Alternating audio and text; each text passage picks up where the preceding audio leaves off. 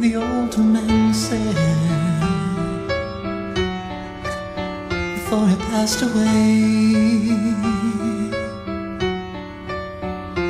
He told me, son, son, it seems I've lost my way.